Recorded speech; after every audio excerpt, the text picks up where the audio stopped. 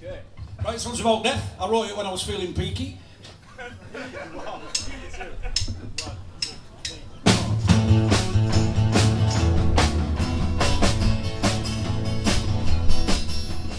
think about you constantly, and over time will come when I'll be yours forevermore.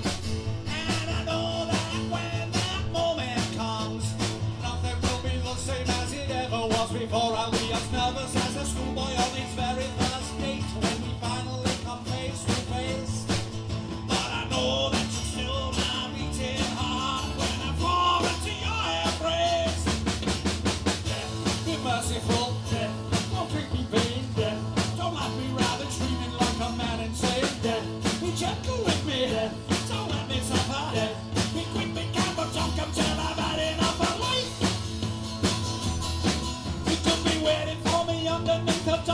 double-decker bus at the bottom of a very long drop.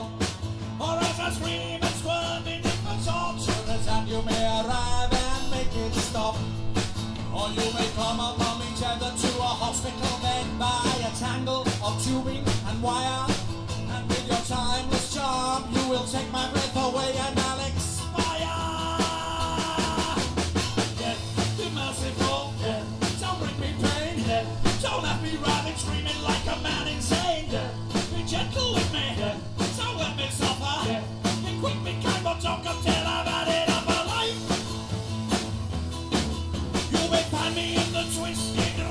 Of my car